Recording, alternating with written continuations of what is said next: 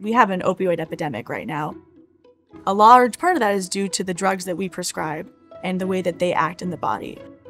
I know people personally in my life who struggle with addiction. I think most people do. It's just such a important problem right now and something that anybody who studies drugs really needs to work on and think about and, and find uh, solutions for.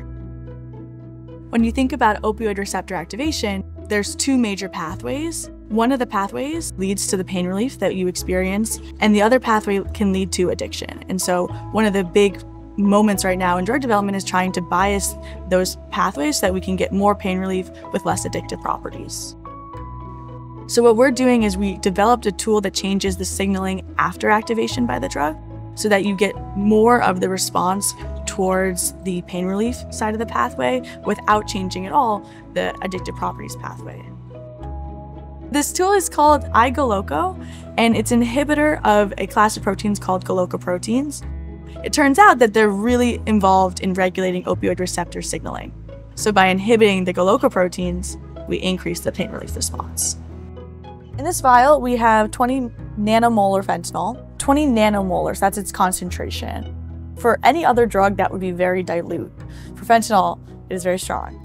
And we're going to pump it into this holder right here so that this can then pump it onto the cells in the plate. This is the normal, and then the blue line above it is when you add our tool. So it's been really exciting to see that the tool that we've developed, we're already seeing its impact. We can see how the responses increase by 150% when we add this tool to the cells.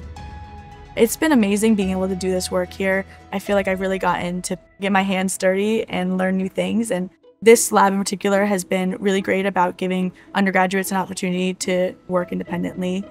Being able to practice experimental design skills has helped me realize whether this is something I want to do in my future.